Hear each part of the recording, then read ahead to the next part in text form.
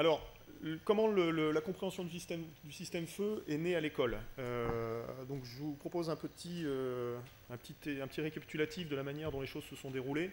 Donc globalement, avant 2006, l'ingénierie du feu est peu présente dans les formations des officiers, alors, euh, hormis sur euh, les feux d'hydrocarbures, euh, sur les feux industriels, mais très peu finalement sur, sur la compréhension même du, système.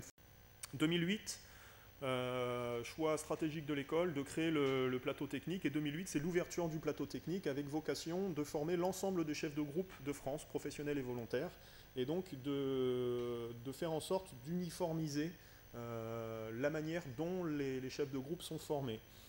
Et euh, pour, euh, bah, pour, réaliser cette mission, le commandant Stéphane Ramet est recruté par l'école avec pour mission bah, de créer le dispositif de formation sur le plateau technique. Et donc à travers cette réflexion, Stéphane Ramet prospecte à travers la France et parce que en même temps sur la région parisienne se développe euh, un dispositif de formation de formateurs sur la dynamique du feu. Euh, Stéphane Ramet fait partie des premiers stagiaires euh, de ce qu'on appelait à l'époque le, moniteur aux techniques d'engagement et d'attaque, plus tout, ce que vous connaissez tous, hein, opérateur sur outils taille réelle, etc., etc., technique de commandement, instructeur, bref. Et à travers cette, cette démarche, il intègre deux choses à l'école qui sont, euh, qui sont aujourd'hui euh, euh, fondamentales pour l'accompagnement de nos apprenants.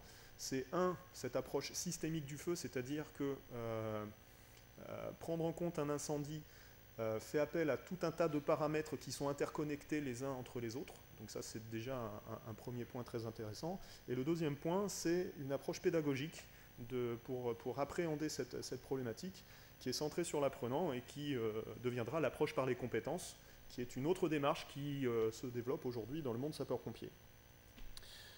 À partir de 2007, des travaux euh, dans le sens de cette approche par les compétences voient le jour à l'école à travers l'étude du profil attendu après formation, le fameux PAF, du lieutenant de sapeur-pompier professionnel, avec la volonté d'identifier à travers un certain nombre de situations de travail de référence bah, les compétences euh, à développer pour les, pour les officiers de sapeurs-pompiers. Et donc forcément, cette compréhension du système feu est un des éléments euh, de la partie opérationnelle des, euh, des chefs de groupe. Depuis 2007, cette approche globale se développe, se met en musique concrètement avec le département de l'Isère, avec le SDIS de l'Isère, et les lieutenants professionnels, dans le cadre de leur formation euh, d'intégration, euh, vont faire une semaine de formation euh, avec nos collègues de l'ISER sur la compréhension du système feu, avec tout un tas de mises en situation, qui correspond globalement à la première semaine du, du MTE, c'est-à-dire bah, comment on, toutes les techniques d'engagement et d'attaque, et comment on appréhende l'incendie de manière générale. 2012, volonté de l'école de, développer en interne ce, parcours de formation, cette partie du parcours de formation. Et c'est donc Nicolas Struski qui est recruté pour cela, puisque Nicolas fait partie aussi des premiers à être formé euh, dans cette, euh, de ce qu'on appelait la filière incendie, en tout cas la filière expérimentale incendie qui, avait vu le jour euh, à, l'époque. Nicolas qui est instructeur donc dans, le, dans, la, dans, cette, dans cette pyramide. Et donc sa mission première était de développer la compréhension du système feu à l'école. Ce qui a conduit à acquérir des outils de, formation que je, que je, vous présenterai et que, sur lesquels Nicolas pourra euh, euh, revenir bien sûr selon vos, selon vos besoins. Euh, et on acquiert notamment avec, grâce au travail du commandant Yvan Pacôme, qui lui aussi prospecte, parce que lui aussi fait partie de ces précurseurs de, cette, de cette, ancienne filière. Euh, ces gens-là prospectent à travers la France, mais aussi à travers l'Europe, et euh, ce qui conduit l'école à acquérir un caisson nouvelle génération, qui est un caisson à, foyer fermé que on vous présentera succinctement, euh, je vous présenterai succinctement tout à l'heure. Voilà, tout ça pour dire que dans le parcours de formation des officiers, des lieutenants de sapeurs-pompiers, depuis 2011, 10 même, euh, il y a un module de compréhension du système feu. Et donc tous les lieutenants qui sont sortis de l'école depuis 2010 ont cette culture systémique du feu. Ce qui est pour nous important puisque le, lieutenant, bah, c'est quand même il a un rôle charnière dans la structure en termes de, commandement opérationnel, bien sûr, puisque c'est le, chef de groupe, mais aussi parce que c'est l'officier de proximité qui permet d'accompagner les, personnels dans les centres pardon, sur cette acculturation à la compréhension du système feu. Alors, euh, pourquoi, euh, pourquoi compréhension du système feu? Euh, Là encore, c'est la volonté d'intégrer cette notion de systémique. Systémique, en fait, c'est l'approche globale, c'est-à-dire que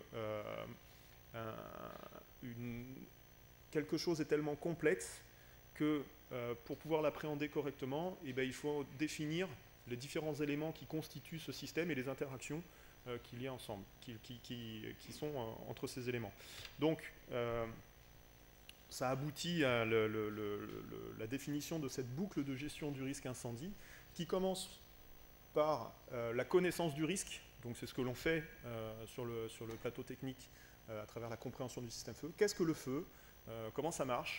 Euh, ensuite, bah, ce risque, on le projette dans la vraie vie, c'est-à-dire bah, euh, ce risque, maintenant, on va le confronter euh, aux, situations opérationnelles dans lesquelles on est susceptible de, le rencontrer, c'est-à-dire dans les bâtiments d'habitation, dans les établissements recevant du public ou les, IGH, ou en milieu industriel. Et donc, on y applique derrière un certain nombre de règles de prévention pour en limiter l'occurrence, en limiter la, propagation et favoriser euh, le, sauvetage des personnes. Une fois qu'on y a appliqué des règles, malgré tout le risque est présent, donc on va définir les scénarios sur lesquels on va s'appuyer pour euh, construire la réponse opérationnelle euh, que l'on va apporter. Et ça, c'est le rôle de la prévision. le premier rôle de la prévision, c'est de définir les scénarios à partir desquels on va construire la réponse opérationnelle. Alors on va bien sûr, avec la prévision, faire de la planification, il y a toute la, problématique euh, de, gestion de l'eau, etc. Mais l'élément fondamental de la prévision, c'est bien de travailler sur ces fameux scénarios. À partir de ces scénarios, pour construire la réponse opérationnelle, eh bien, on va définir une doctrine, et c'est le rôle de l'opération. À partir de cette doctrine, on va acquérir du matériel et on va former les personnels. Et à partir de là, une fois qu'on le, on connaît le risque, on sait dans quelle mesure on est susceptible de le rencontrer, on a développé les doctrines, on a acquis le matériel, on a formé les personnels, ben on n'attend plus qu'il euh, ait l'intervention ou que l'on réalise des exercices. Et donc l'étape euh, d'après, c'est on intervient ou on fait des exercices. Et parce que euh, la, démarche de, capitalisation d'expérience est quelque chose de, très intéressant, hein, c'est vraiment au goût du jour, hein, vous avez lu par ailleurs dans, diverses revues que, le, le, retour d'expérience est quelque chose de très très très important pour pour améliorer nos pratiques, et parce que ça fait partie du dispositif d'amélioration continue, à partir de ces interventions, de ces exercices, ben, on fait du retour d'expérience, ce qui nous permet de réalimenter la boucle euh, en fonction de, ce que l'on a identifié euh, là-dessus. Voilà, c'est l'approche systémique que l'on développe à l'école. Alors moi je vais vous parler d'abord de, ce que l'on fait en termes de, connaissance du risque, donc c'est la compréhension du système feu, et après le capitaine Honnet vous parlera de... Euh, de euh, la partie prévention, comment on intègre la prévention dans le, cursus de formation des, lieutenants, et euh, la partie retour euh, d'expérience à travers la RCCI, qui permet de réalimenter la boucle. Le tout permet de donner du sens à ces actions et au développement de ces compétences. Parce qu'à partir du moment où je sais où je me situe dans la boucle, je donne du sens à ce que je veux en faire. Voilà. Et ça, c'est un élément fondamental de l'approche par les compétences. Je vais chercher de la connaissance, je vais chercher, je vais développer mes savoir-faire, mes habiletés à partir du moment où, j'ai compris que j'en avais besoin euh, et, dans quel cadre ça s'inscrit. Un élément aussi euh, qui, est très intéressant et qui est issu des travaux des précurseurs de, la compréhension du système feu, euh, c'est l'analyse de l'activité. Euh, du, commandant des opérations de secours. Et donc ça, ce sont les travaux du SDIS 91 euh, et particulièrement du commandant Jean-Charles Gilcard, euh, accompagné par Madame Rogalski, qui est, qui, était, enfin, qui est toujours sociopsychologue. ils ont identifié à travers tout un tas d'études le fait que ce qu'on attend du, du sapeur-pompier dans une position de commandement, finalement correspond en termes d'activité, si on fait euh, la somme de ces activités, 20% bah, de ces activités finalement correspondent à des actions. Mais ces actions naissent de 80% de réflexion. Et donc ça, on le, voit euh, au quotidien sur le plateau technique, hein. on, le filme régulièrement, on revient régulièrement dessus avec, euh, les apprenants. il y a énormément, énormément, énormément de phases de réflexion dans l'activité du COS. Et pour accompagner cette réflexion, et quand on, parce que c'est ce qu'on appelle la, boucle de gestion euh, des environnements dynamiques, c'est comme ça que, ça a été, euh, que ça a été appelé, euh, finalement cette, boucle correspond à un processus cognitif, c'est-à-dire un processus intellectuel en lien avec son environnement dans, lequel, dans lequel on intervient. Et ce processus cognitif finalement passe par des étapes qui sont incontournables ces étapes, bah, c'est la sélection de l'info, c'est ce que j'en fais, euh, comment je la comprends, cette information, quelle analyse, quel diagnostic j'en fais, quel pronostic j'en fais, c'est-à-dire qu'est-ce qui peut se passer, qu'est-ce qui va se passer si moi je ne fais rien. À partir de là, ça me permet de prioriser les enjeux, de définir les modes opératoires, de décider d'agir. Voilà. Et c'est une boucle qui tourne en continu, en continu, en continu. Typiquement, là, nous sommes tous en train de faire de la BGED euh, par rapport à ce que l'on est en train de vivre. Et donc pour accompagner les, apprenants euh, dans l'action, euh, afin d'optimiser la réponse opérationnelle, pardon, il, faut, acculturer euh, le, lieutenant dans le système feu. Sur quel élément je peux intervenir pour améliorer la situation? Et donc les objectifs de la compréhension du système feu qui est faite pour les lieutenants de première classe tournent autour des idées suivantes. C'est d'abord comprendre ce qu'est le feu, identifier les indicateurs permettant au chef de groupe de comprendre euh, où il en est, de comprendre les actions choisies, par exemple la gestion des ouvrants, par exemple les effets de l'eau, et à partir de là, réfléchir sur diverses tactiques opérationnelles euh, en fonction des situations présentées. Ça se concrétise par l'utilisation des outils réduits tels que vous les connaissez. Hein. on, tourne toujours autour des, des mêmes, euh, des mêmes sujets. Et ce qui, ce qui, ce qui est euh, satisfaisant, c'est que de plus en plus euh, de stagiaires sont déjà familiarisés avec, avec tout ça, ce qui nous conduit, nous, à réfléchir sur bah, qu'est-ce qu'on peut leur donner de plus. C'est l'utilisation d'un caisson à foyer fermé. Donc ça, Yvan, serait, Yvan et Nico seraient encore plus à même que moi d'expliquer comment ça marche, mais en, quelques mots, euh, c'est un outil qui est euh, pour nous très performant parce que, un, euh, celui-ci particulièrement est plus respectueux de l'environnement que, que, des caissons classiques, puisque sur la partie supérieure, on a un laveur de fumée. Nous utilisons dedans du bois non traité, ce qui, sur le plan toxicologique, est quand même plus satisfaisant vis-à-vis des, intervenants, que ce soit les opérateurs caissons ou que ce soit que ce soit les, gens qui, gravitent pardon, autour du caisson. Et puis sur le plan pédagogique, euh, il est très intéressant parce qu'il reproduit finalement ce que vivent la majorité euh, des, pompiers euh, vis-à-vis du risque incendie, c'est-à-dire ce qui se passe dans les locaux adjacents à celui dans lequel il y a le feu.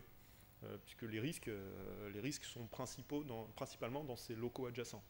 Euh, et donc, parce qu'il fonctionne sur le principe d'un foyer fermé, donc, euh, dans lequel, en fait, c'est un four dans lequel on met du bois, euh, et on agit sur une porte entre la partie foyer et la partie apprenant. On agit sur une porte pour générer tous les phénomènes que l'on veut générer. Voilà. Donc, il est sécurisant parce que le fait de fermer la porte, bah, terminé, il n'y a plus de risque pour les, pour les apprenants. Il permet de reproduire encore une fois les, conditions opérationnelles les plus à risque pour les, pour les sapeurs-pompiers, puisque c'est notamment l'ouverture de porte euh, euh, du, local à risque. il permet de travailler sur la lecture des fumées et il permet de renouveler autant de fois que l'on veut euh, les, phénomènes pour, pour, bien les appréhender, puisqu'il lui suffit juste de réalimenter le foyer pour, pour poursuivre l'aventure. Donc c'est assez intéressant. voilà ce que, ce que ça peut donner de l'intérieur. Donc porte fermée ou entrouverte qui permet de travailler sur les fumées, et porte ouverte en fonction de ce qu'on a créé au, au, préalable, on génère le phénomène que l'on veut générer. Donc, cette, une bonne conduite de cet outil, finalement, permet et de travailler en sécurité et de reproduire tout ce que l'on veut reproduire de manière intelligente et pédagogique. On ne subit pas l'outil, par contre, on le pilote. Et puis, euh, dans un dernier temps, euh, lors des mises en situation sur le plateau technique, à travers une zone urbaine, un immeuble et un pavillon, euh, nous allons accompagner les apprenants sur ce qu'ils ont compris de la situation, la lecture du feu qu'ils en font et la tactique opérationnelle qu'ils mettent en œuvre. Donc, et finalement, on finalise l'appropriation du système feu à travers des mises en situation de chefs de groupe. Et dans la vraie vie, me direz-vous. Euh, et donc, bah, ça, ce sont les travaux qui euh, se poursuivent après et qui correspondent à l'évolution de la boucle de gestion du, risque incendie. C'est bah, comment on appréhende le risque incendie dans les situations opérationnelles susceptibles d'être vécues. Euh, et là, c'est ce qu'on appelle à l'école la, prévention appliquée à l'opération, c'est-à-dire quelle doctrine opérationnelle selon la nature du bâtiment et euh, la recherche des causes, des circonstances et causes d'incendie pour euh, faire du retour d'expérience, capitaliser du retour d'expérience. C'est ce que, euh, le capitaine Frédéric Honnet va vous présenter. Avant de, lui passer la parole, est-ce que vous avez des questions sur, sur ce que je viens de vous présenter? On va essayer de prendre à chaque fois quelques minutes pour, pour échanger sur les, sur les différents thèmes. Il y a des micros, hein, il y a tout ce qu'il faut. Voilà, c'est une journée de partage. Bien, bah écoutez, euh, merci de votre attention et euh, bah, je passe la parole à, Frédéric. Donc il va d'abord euh, vous présenter la RCCI parce qu'en fait, dans les travaux de l'école, on s'est appuyé sur le retour d'expérience à travers les, mises en situation RCCI pour conforter les paramètres avec lesquels on a travaillé sur la, sur la prévention appliquée à l'opération. Donc ça ne correspond pas tout à fait à la boucle dans la manière de présenter, mais la logique, elle est bien là. Et donc, il va d'abord présenter le RCCI avant de présenter la PAO.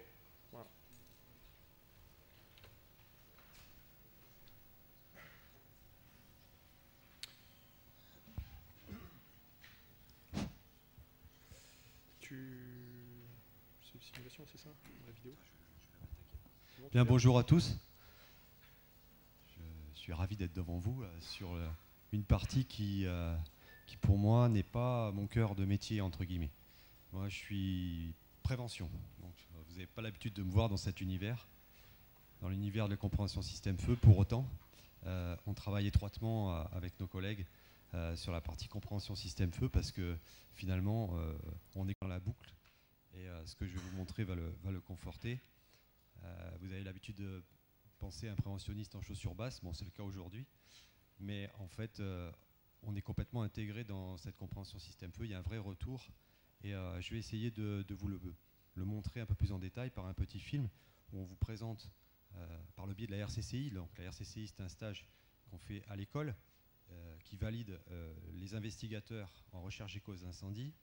Et ce stage fait intégralement partie du cursus prévention. Donc, pour ces stages, nous faisons des scènes de feu, on reproduit des, feux réels euh, et on en reproduit beaucoup, puisqu'on fait en gros 5 stages par an et à chaque stage, il y a 4 scènes de feu réels que l'on met en place, donc ce qui fait à peu près 20 feux euh, réels. On, se rapproche, enfin on ne se rapproche pas, on fait des feux comme on en trouve euh, dans le quotidien, dans les villes, etc. Donc on a une expérience totale sur ce qui peut se passer dans un appartement, et, ça on le fait 20 fois dans l'année. Donc on cumule une expérience qui est à mon sens, exceptionnel au niveau national. Donc pour ça, je vais vous montrer un petit film qu'on pourra commenter, que je vais commenter, qu'on pourra arrêter quand vous le souhaitez. Alors, vous me pardonnerez, on n'utilise pas les méthodes euh, d'extinction réellement validées par la commission. On, le fait un petit peu euh, façon prévention, c'est-à-dire qu'on ne respecte aucune règle d'extinction, mais on respecte certaines autres règles qu'on va vous montrer.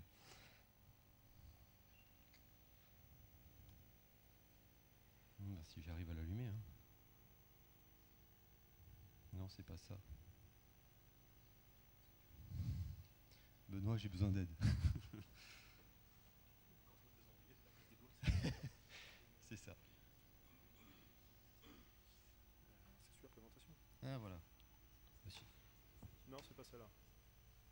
Master. Ah oui, c'est celui-là, pardon. Tant pour moi, pas mettre en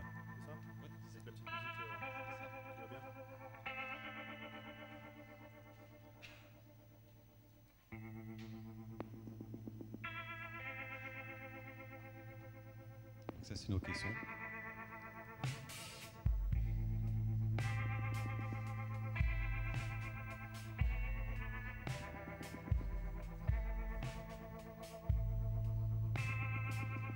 Vous voyez, on reproduit à chaque fois des, des scènes de feu qui sont identiques à ce qu'on peut retrouver euh, chez l'habitant. hein.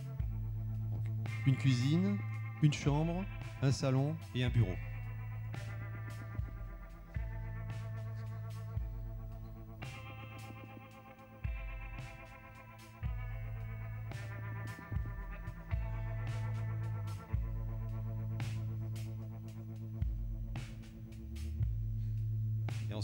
De reproduire des départs de feu crédibles.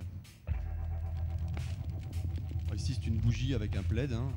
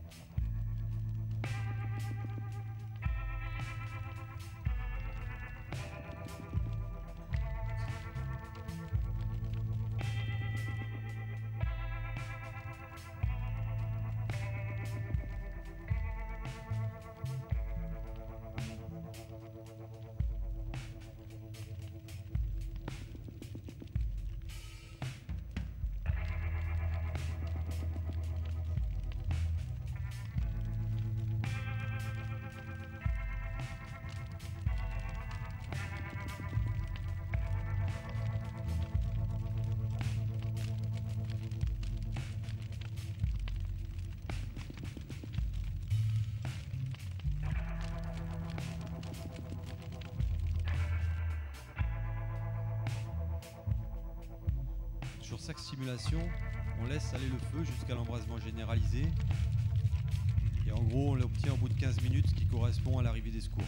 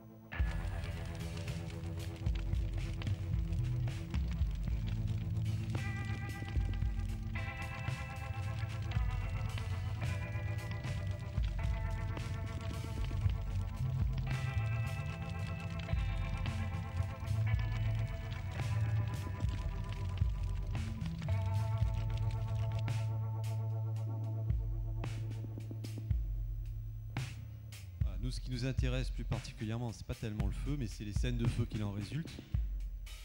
C'est sur ces bases-là que l'on va faire travailler nos, euh, nos stagiaires pour qu'ils retrouvent l'origine du feu.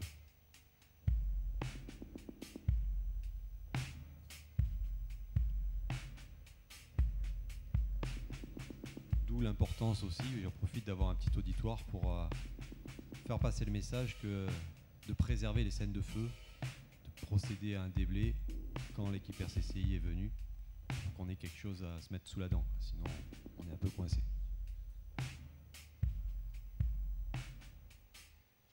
On reproduit de nombreuses scènes de feu, comme je vous l'ai dit, un petit panel là, de scènes de feu qu'on fait, un tout petit panel.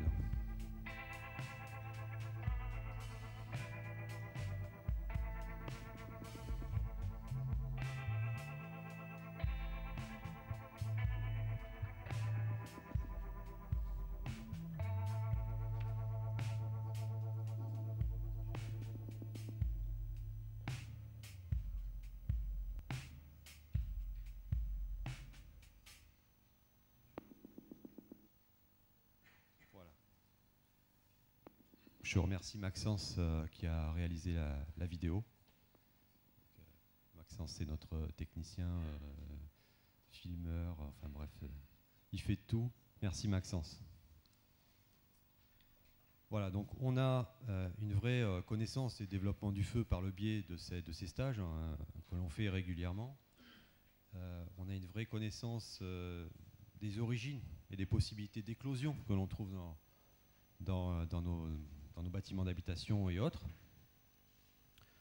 Et on a une vraie capacité à appréhender donc, le, volume des fumées, à les traiter, une vraie capacité à comprendre euh, certains phénomènes que, vous connaissez, que vous rencontrez. Et en ce sens, euh, on est euh, là pour participer avec vous à la compréhension du système feu, etc., et à participer pleinement à, vos travaux. L'idée, c'est ensuite, comme il y avait une vraie connaissance accumulée, etc., c'était de pouvoir l'utiliser sur autre chose. Alors nous, comme on est dans la filière prévention, et on s'était dit que ça, on va pouvoir l'utiliser pour valider des simulations, euh, pour valider des, scénarios proposés par un, système de simulation qui est FDS, et pouvoir euh, mettre en situation, par le biais de la simulation, des, élèves euh, et leur faire appréhender certains phénomènes de- d'enfumage, de désenfumage, etc. Donc utiliser les outils notamment de désenfumage que l'on a dans les ERP, les bâtiments d'habitation. Et euh, cette connaissance des systèmes nous a permis de valider pleinement un- une simulation, donc euh, par FDS. Et là, je remercie Julien Chel qui, sera présent tout au long de la journée, mais qui, qui nous a particulièrement aidé dans le cadre de la PAO, puisqu'on utilise ces simulations dans le cadre de la PAO, donc de la prévention appliquée à l'opération, où on met en situation des élèves avec différents scénarios, et ils doivent euh, essayer d'appréhender le meilleur moyen d'intervenir dans un bâtiment d'habitation ou un bâtiment disposant d'un désenfumage, euh, euh, d'appréhender le meilleur moyen de gérer cette situation.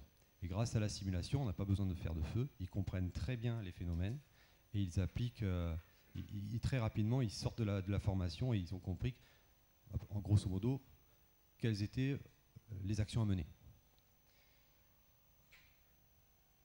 Donc là, l'idée, c'est, au moins, est-ce que vous ayez des questions déjà sur cette partie film avec euh, les différents feux?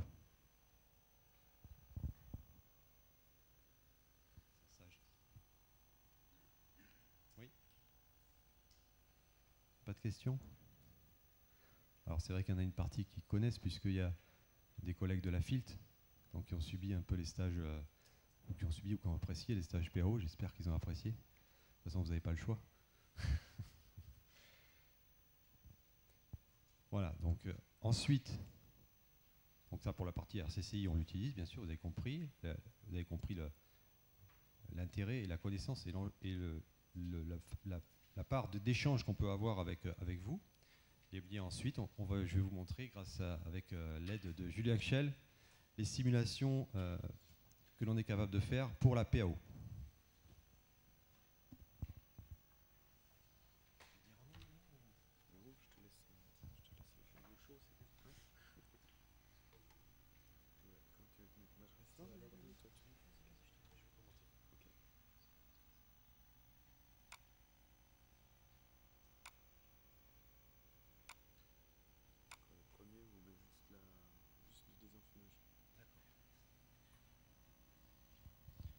On, reproduit une simulation dans un bâtiment type bâtiment avec circulation désenfumée. On a une chambre qui peut se qui, a, qui a les que celles que l'on retrouve dans nos caissons. Par contre, on a un couloir qu'on n'a pas encore dans nos caissons et qu'on espère bien réaliser euh, à l'avenir. L'idée, c'est euh, de mettre un feu dans la chambre et puis de voir ce qui se passe dans la circulation et de simuler le développement du feu et surtout la propagation des fumées. Ensuite, par euh, le, biais du simulateur, on va euh, agir sur le, les. Le désenfumage dans ce type qui peut être à la fois un, euh, hôtel, une maison de retraite, un, un hô- un hô- un hôpital, ou bien une habitation troisième famille B ou quatrième famille, voire, voire IGH. Donc ça, ça permet d'avoir un panel assez large quand même. Donc, on a plusieurs solutions possibles. Soit le désenfumage fonctionne, soit il ne fonctionne pas, ou alors euh, on a euh, la porte ouverte, la porte fermée, la fenêtre qui est cassée, pas cassée. On peut s'amuser à toutes les situations. Et ça, c'est très riche.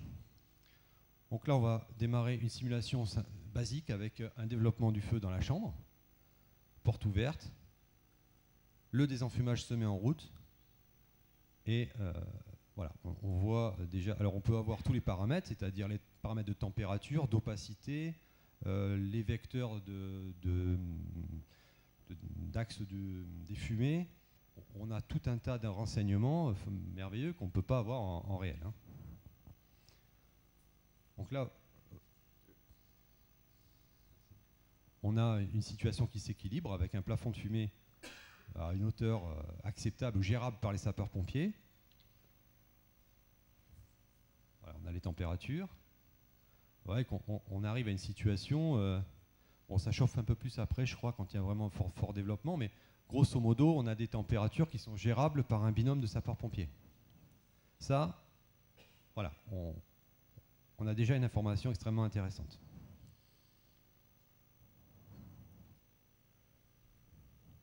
On a euh, grosso modo euh, autour de 220 degrés en partie haute, 200, ça monte à 300 maxi.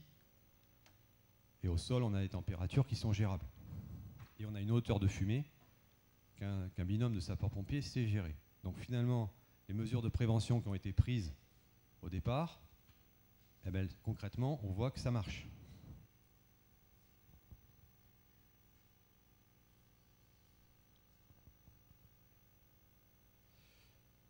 Si on a un paramètre qui ne fonctionne pas, donc si Julien par exemple, euh, tu nous fais stopper euh, la- le désenfumage, à ce moment-là, Je me souviens de laquelle. oh, peu importe, sinon on le fait dans le désordre. hein. Mais, mais- mais en- mets celui que tu veux et puis je commenterai en fonction. trouver. Je vais la trouver. C'est ça.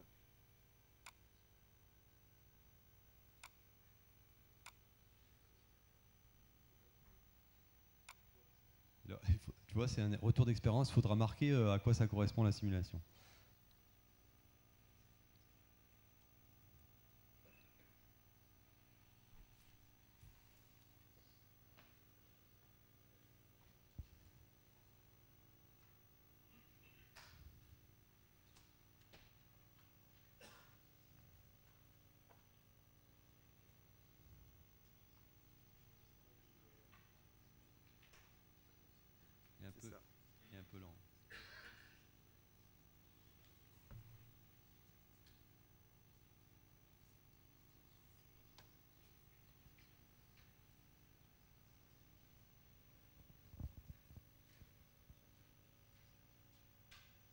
Sur celle-là, la porte est fermée. Ah, pas sur celui-là, la porte est fermée, ok.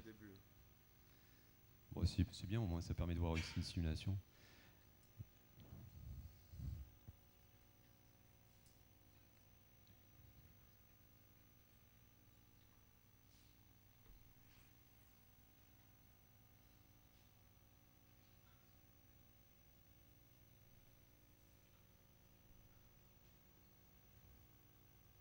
Le but des enfumage fonctionnait sur celui-là. hein? Non Non, là, le désenfumage ne fonctionne pas. On a très rapidement le- Voilà. l'ensemble du couloir qui est enfumé jusqu'au niveau du sol. C'est vrai que si on avait eu le- les températures, ça aurait été peut-être encore plus, euh, peut-être plus visible.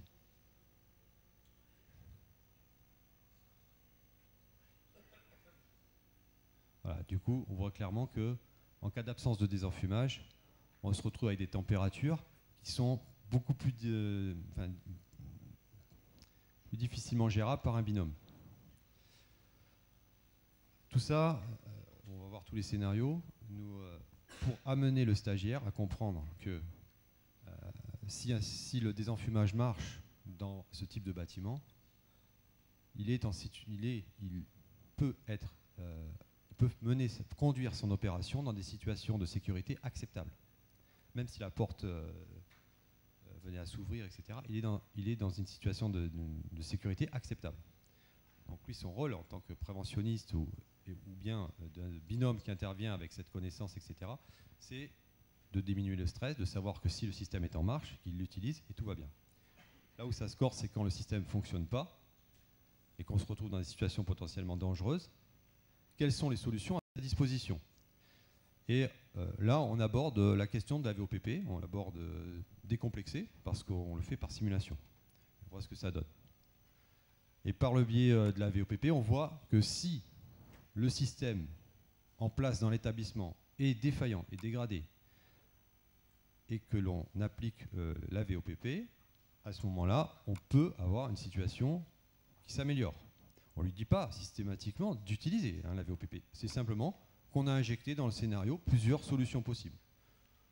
Ça pourrait être autre chose. Hein. Si demain on invente euh, autre chose, on invente autre chose, on l'injecte. Si demain on, nous valide le brouillard d'eau, on mettra du brouillard d'eau, on, le verra, on le testera.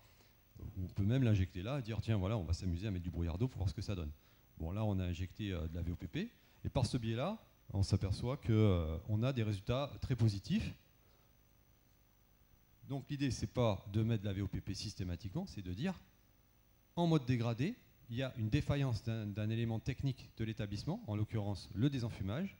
Je suis avec des binômes qui ne sont pas forcément en sécurité dans mon couloir parce que je le vois clairement grâce à la simulation en termes de température, etc., de volume de fumée. Quels sont les moyens possibles à ma disposition? Essayons le désenfumage et voyons ce que ça donne. Essayons la VOPP, et voyons ce que ça donne. Donc là, on a refermé les clapets.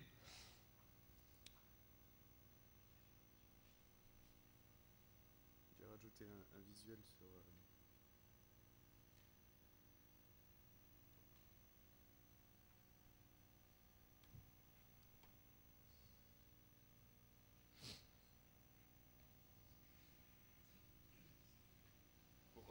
plus visuel la partie euh, vélocité des fluides, je rajoute simplement une, vue. Hein. Hmm. C'est juste que ça.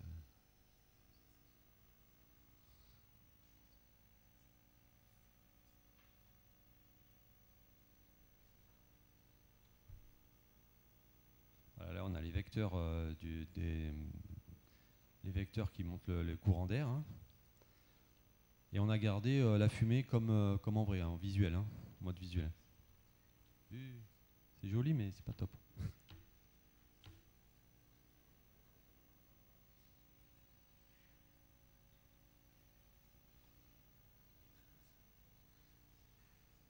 Donc en partie basse de l'escalier, vous voyez le, la partie euh, ventilateur, le, point, le cube rouge simule le ventilateur. Et ce qu'on arrive à observer, c'est que grosso modo, on a un peu de diffusion de fumée dans la circulation, mais les températures et les, euh, fumées sont, euh, sont, faibles, ce qui fait qu'on a un moyen de désenfumer la circulation en mode dégradé. Il faut bien préciser en mode dégradé, c'est-à-dire la défaillance du système de désenfumage de l'établissement ne fonctionne pas. On peut, on valide le fait qu'on on est dans, par la simulation, hein, le fait qu'on est dans un couloir qui euh, présente un niveau de sécurité euh, très acceptable. Alors, on applique les principes de la VOPP, il hein. faut un entrant, un sortant, euh, il y a tout un tas de, systèmes qu'on ne va pas, va pas vous expliquer là, hein, mais que, certains connaissent. Voilà. Et puis on peut faire un scénario, celui que tu veux, après, à ton choix, Julien. Peut-être... le conflit Hein conflit, euh, conflit euh, des enfumages non, conflit, des conflit des enfumages VOPP. E, excusez-moi, j'ai une petite question. Oui, je suis là. Oui. oui. Bonjour, je suis là. Je suis le commandant Ragazzoni, je suis le chef du service prévention de la Côte d'Or. Euh, je suis interpellé par la, simulation que l'on vient de voir. En fait, je voulais savoir, ce, logiciel-là, c'est le même logiciel qui est, euh, qui est, utilisé par exemple comme par le bureau d'études Effectis pour faire les simulations sur l'ingénierie des enfumages. ce que vous, venez de nous montrer concernant la ventilation positive au bas de la cage d'escalier, avec l'efficacité du désenfumage relatif dans le, dans le couloir de, de, l'établissement, ça n'a pas été testé en réel. D'accord. Parce qu'on euh, on a eu le cas en Côte d'Or où en fait le bureau d'études nous a proposé euh, ben, une, étude d'ingénierie de désenfumage sur un, palais des expositions et euh, on a validé, bien sûr les scénarios qui ont été définis par le bureau d'études en commission de sécurité. Par contre, on a quand même demandé un, essai au fumigène pour, voir un petit peu euh, par rapport à ce qu'ils avaient. Et on s'est rendu compte qu'il y avait une différence quand même notable euh, entre euh, ce qu'ils avaient prévu et puis l'efficacité qu'ils avaient pu définir théoriquement par rapport à la réalité du terrain. Donc après, vis-à-vis d'une... Alors, sur le plan opérationnel, bah, c'est vrai que ça peut permettre de, comprendre les choses. Sur le plan prévention, je pense qu'il y a quand même des limites. Parce que euh, expliquer à une commission de sécurité que d'un côté, le, bureau d'études dit oui, oui, tout va bien, et puis quand on commence à faire un essai, ça va pas si bien que ça. Euh, voilà, donc oui, opérationnellement, euh, je dirais, j'adhérerais. Par contre, au niveau de la prévention, je suis un peu sceptique voilà, par rapport à cette, démarche-là. C'est l'intérêt, la question, c'était voilà, de savoir si ça avait été testé en réel, parce que là, je suis preneur, bien sûr. Alors, corroborer ou pas mes propos en disant est-ce que si vous avez vécu ce genre de situation, est-ce que ça vous paraît réaliste ou pertinent, euh, des choses comme ça? Ou ce qu'on a représenté, est-ce que ça vous paraît euh, correspondre à ce que vous avez vu dans le réel? Typiquement, on sait qu'un désenfumage porte ouverte sur une chambre, dans un type U, la fumée vient massivement dans le couloir, et par contre se stratifie et reste stabilisée avec une zone neutre qui est autour de 1 mètre. Bon, ben voilà, on a recréé à peu près euh, une situation qui correspond à ça. Voilà.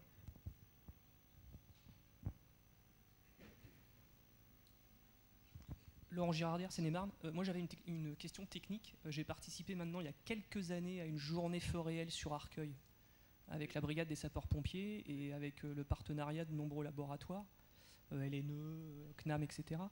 Et j'avais discuté avec un des techniciens sur ce fameux logiciel FDS et SmokeView.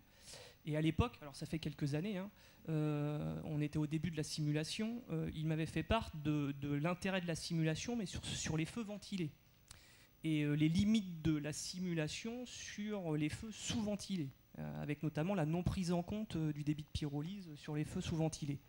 Là maintenant on est avancé, on est en 2015. Je voudrais, savoir si techniquement dans, ces paramètres-là, vous avez ce, paramètre de feu sous-ventilé pris en compte. Là Yvan m'a dit que porte ouverte, porte fermée. Mais voilà, à l'époque, moi le, technicien m'avait dit ça, le débit de pyrolyse, on n'est pas capable de le dimensionner. si je peux répondre, parce que moi, je suis, je suis un petit peu l'extraterrestre dans le système. Hein. Je comprends son système feu, c'est pas un truc, mais feu sous-ventilé, quand pour faire, euh, comme je dis, 20 feux euh, dans les caissons dans l'année, on commence un peu à en connaître un rayon. On n'a jamais réussi à, faire, à mettre le feu dans un caisson quand la porte était fermée. Jamais. Ça n'a jamais pris. Ça, ne bah, marche euh, pas. J'en fais quelques-uns aussi des feux réels et j'en suis à plus de 20 par an. je ferme pas forcément toute la porte pour avoir un feu sous-ventilé. Moi, ah oui, si la porte est légèrement ouverte, ça marche. Bah oui, si ça marche. si la porte est fermée, sauf que Entre, entre, nous, la composition de la fumée, elle n'est pas la même. Ah oui, oui, je suis d'accord avec vous. Quand hein. ma porte elle est ouverte 100%, euh, ma fumée va être euh, essentiellement composée de produits de combustion. Quand ma porte elle est pratiquement fermée mais que j'ai un peu d'apport d'air, elle est essentiellement composée de gaz de pyrolyse. et ça fait pas du tout le même résultat à l'ouverture de la porte de mon binôme d'attaque. Là où je suis entièrement d'accord avec vous, c'est que moi, si c'est légèrement ouvert, je suis d'accord. Mais si c'est fermé, j'ai jamais réussi, hein, moi, hein, personnellement. Hein, dans, dans ben, je parle pas de porte fermée, je parle de feu sous ventilé. Et ma question repose uniquement techniquement est-ce qu'aujourd'hui le débit de pyrolyse est pris en compte dans la simulation? Voilà, c'était juste ça ma question pour, vous répondre, sans être, euh, sans être vraiment sur le détail du débit de pyrolyse, alors il faut savoir qu'il y, a pratiquement, allez, chaque année ou tous les deux ans, des améliorations qui sont fournies, mais effectivement, dès lors qu'on va sur des feux qui sont très très limités en, très, très limités en apport d'air, on va avoir des, modèles qui commencent à ressembler à plus rien du tout. Au moment, où, au moment de l'ouverture, par exemple, un truc hyper concret, on n'arrivera jamais à reproduire quelque chose qui ressemble à un backdraft avec FDS. Et je pense pas encore qu'en 2016 ou 2017 on y arrivera. Mais justement, mais c'est parce que du fait de euh, la, comment je puis dire, les déperditions de chaleur qu'on est censé avoir dans la pièce et la diminution du taux de pyrolyse, ça c'est des modèles qui sont trop compliqués à incrémenter euh, pour FDS. Donc il peut toujours pas, effectivement, il peut toujours pas y répondre à l'heure actuelle.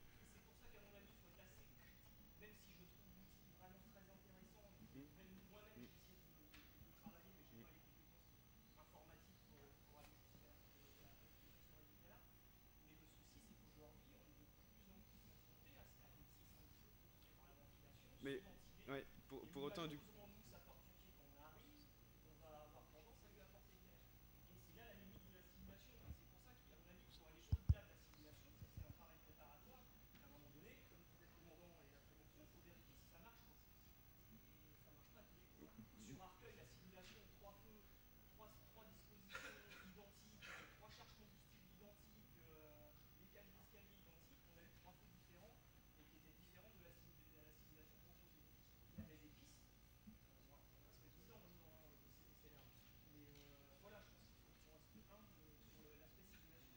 effectivement, après, sur la, la si-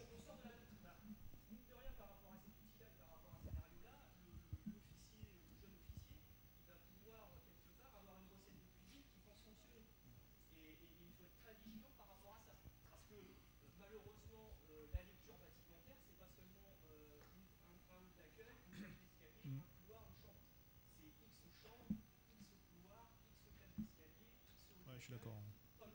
Ouais. Oui, je suis, je suis complètement vous d'accord avez, avec toi. vous avez sur ça. entièrement raison sur cette, Oui. sur cette partie-là. En fin de compte, euh, la, la- la simulation, c'est une des limites de la simulation, ne montre que ce qu'on veut montrer. Derrière, celui qui paramètre, c'est un homme également. Et ensuite, on n'arrivera jamais, il faut savoir qu'on n'arrivera jamais à reproduire exactement le réel. Du fait de la limitation, ne serait-ce que sur les combustibles, on est limité par le maillage et par ce qu'on va entrer de nos connaissances du combustible. Un fauteuil, c'est pas juste un cube de mousse, c'est un peu plus compliqué que ça. C'est euh, euh, ça, a une certaine géométrie, plusieurs couches, etc. Donc forcément, on va arriver sur des, on va très vite arriver à des limites si on veut reproduire exactement le réel. Néanmoins, sur un état stable de développement du feu, c'est-à-dire qu'on arrive au feu limité par la ventilation, qui n'a s'il n'a pas plus d'air reste à un euh, débit calorifique, euh, heat release rate qui est standard, on arrive à quelque chose qui est quand même assez proche de la réalité. Ensuite, sur la partie euh, utilisation pédagogique, effectivement, il faut être très prudent et expliquer que ça, ça marche, et je suis sûr que ça marche en réel quand on est exactement dans ces conditions-là. Mais moi, j'ai pas là, pour, pour parler spécifiquement de cette euh, simulation, et après on, va arrêter parce qu'on en reparle normalement cet après-midi, mais on est dans un bâtiment qui est totalement étanche. Euh, on estime qu'il n'y a aucune fuite nulle part ailleurs, il n'y a aucun, euh, y a aucun euh, mobilier qui vient parasiter, il n'y a aucun flux d'air, il n'y a pas de vent de façade, il n'y a rien de tout ça. On arrive à refaire ça exactement en vrai. Je pense que le feu devrait se à peu près de la même manière. Pour autant, en réalité, on sait bien que c'est jamais exactement identique. Même à Arcueil, j'y ai pas été, mais je peux imaginer qu'il y avait, vous ne pouviez pas faire absolument au poil les, des conditions euh, pile identiques. Et c'est ce qui fait que vous allez avoir des variations.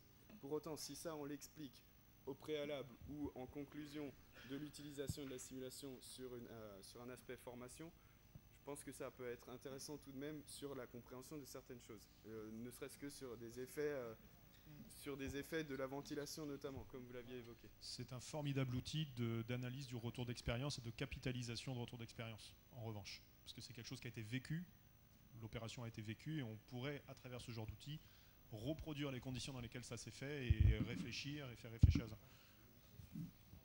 Mathieu, Oui, capitaine Bertrand, donc du Maine-et-Loire. Une question un peu plus pédagogique. Euh, à quel moment dans la formation de lieutenant ce- cette simulation euh, entre en œuvre et plus généralement, comment est articulée la formation de chef de groupe? Parce que j'entends bien, il y a la simulation euh, là-dessus, il y a compréhension du système feu, il y a la pratique, il y a le JOC3, il y a le TG0. Comment tout ça s'est articulé et quel lien vous faites entre les deux? Parce qu'en fait, ma grande question, c'est vraiment celui-là à quel moment? Est-ce qu'il est avant système feu, après système feu? Parce que je pense que ça change tout. Alors, euh, oui, ta question est complètement pertinente parce que c'est effectivement, ça c'est un outil qui nous sert à accompagner des gens dans euh, leur futur métier de chef de groupe. Et c'est bien là le, cœur du, sujet.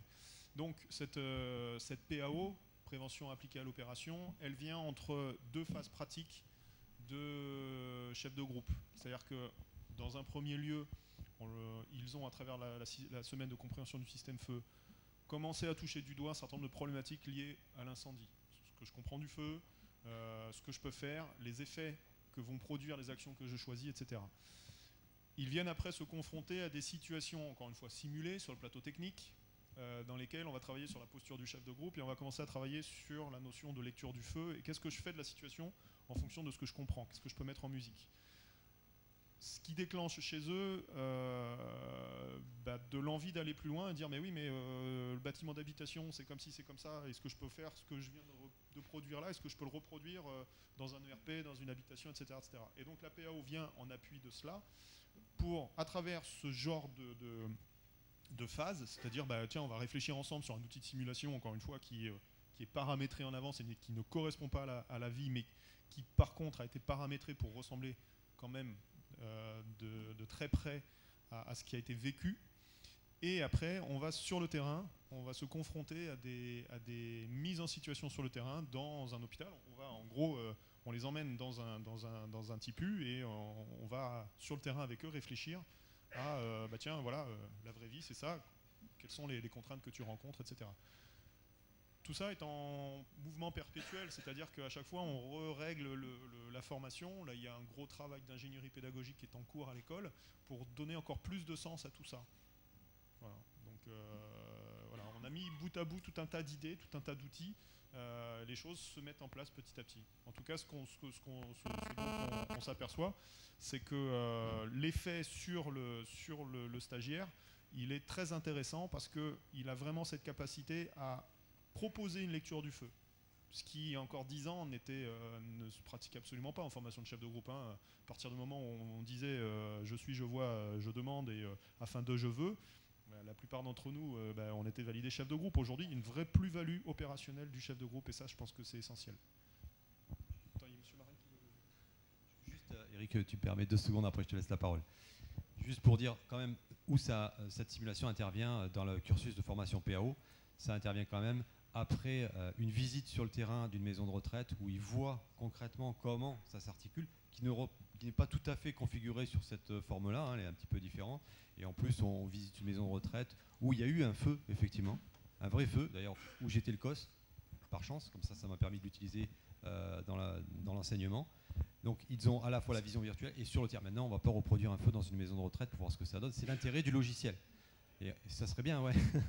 On aimerait bien avoir une maison de retraite euh, réelle à, enfumer. Donc voilà, il y, a une vraie continuité pédagogique. Maintenant, euh, voilà, euh, c'est la limite de, l'outil de simulation. on n'arrivera jamais à la qualité qu'on pourrait avoir si on avait une maison à feu qui reproduise toutes les conditions. c'est la limite. Eric Merci Frédéric.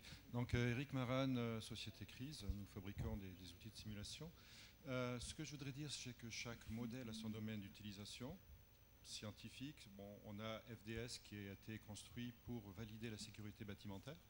On peut l'utiliser effectivement dans le cadre de la formation. Je crois que c'est un très bon outil qui permet, euh, comme vient de le dire Julien, de faire du sens. Et comme vient de le dire aussi euh, Frédéric, de faire du sens. L'idée, c'est que euh, un sapeur-pompier arrive avec sa conception du feu, sa propre représentation cognitive de ce qu'est un feu. Ce type d'outil permet de passer une représentation métier. C'est-à-dire que chacun arrive avec sa propre présentation et ce type d'outil va permettre de standardiser les concepts, le vocabulaire, pour que l'ensemble des sapeurs-pompiers puissent s'approprier le feu d'une façon, une conception du feu, une représentation cognitive du feu, qui est une représentation métier qui va être partagée. À partir du moment où chaque utilisateur partage la même représentation cognitive de ce qu'est le feu et la dynamique du feu et quels sont les indicateurs qui vont permettre d'appréhender euh, la dynamique du feu euh, réel, on va pouvoir passer à de la, formation opérationnelle et discuter ensemble de la façon d'énacter, c'est-à-dire d'utiliser nos connaissances pour mettre des techniques de ventilation opérationnelle et de juger ce qui est le plus pertinent sur le terrain. Mais il faut faire attention, un modèle, un domaine d'utilisation, qu'il soit euh, opérationnel, mais aussi pédagogique. Euh, donc, on a ce type d'outils qui sont très intéressants à utiliser en début de la formation pour, que, pour cadrer, standardiser la représentation cognitive que chacun va avoir du système feu. Euh, après, il faudra peut-être utiliser d'autres outils de simulation pour, faire de la, simulation fonctionnelle, travailler en équipe à l'extinction d'un feu réel, par exemple, ou dans ce cadre-là, FDS ne va pas correspondre. Par contre, pour standardiser la, représentation cognitive du feu, ce type d'outil est euh, maintenant, je crois, incontournable parce qu'on ne peut pas réaliser de nouveau sans cesse des expériences, que les expériences réelles ne sont pas forcément reproductives, c'est-à-dire que la ventilation au R 4 euh, avec dans un TIPU euh, avec une chambre, même si on refait les mêmes conditions initiales, on ne va pas forcément arriver exactement au même résultat. Hein. le feu, c'est un système chaotique. Par contre, utiliser des outils de simulation qui vont être parfaitement reproductibles va permettre de standardiser la représentation du feu qu'ont les élèves. Merci M. Maran. Euh, bah, la part. Oui une, dernière question, parce que sinon. Merci, lieutenant-colonel Philippe Moineau, je suis le directeur adjoint du Lot-et-Garonne. Simplement revenir sur les RCCI. Euh, simplement pour, euh, pour dire que depuis quelques années, on a vraiment évolué euh, par rapport à la RCCI. Il y a 8 euh, ou 9 ans, il n'y avait pas grand-chose. On a maintenant une circulaire qui permet aux SDIS de se, lancer dans cette pratique. L'école nationale a mis en place des formations. Néanmoins, moi, je voulais juste avoir une réflexion. Il manque vraiment un élément essentiel, un chaînon essentiel, c'est la base de données nationale. Tant qu'il n'y aura pas une base de données nationale qui permet euh, à chaque SDIS, à l'issue d'une investigation, euh, d'alimenter cette base. Euh, nous n'aurons pas, nous ne disposons pas de statistiques suffisantes pour pouvoir mener des actions en matière de, prévention, de sensibilisation ou de formation. Donc ça, c'est un point pour moi qui est, capital, que cette base de données, elle, est quasiment prête, mais il faut vraiment la mettre en œuvre et l'exploiter. Merci mon colonel, et euh, ça fait euh, la transition parfaite avec l'intervention euh, du capitaine Lafra puis du colonel Bossé sur le, projet de, groupe pédagogique et technique et l'utilisation du, PNRS.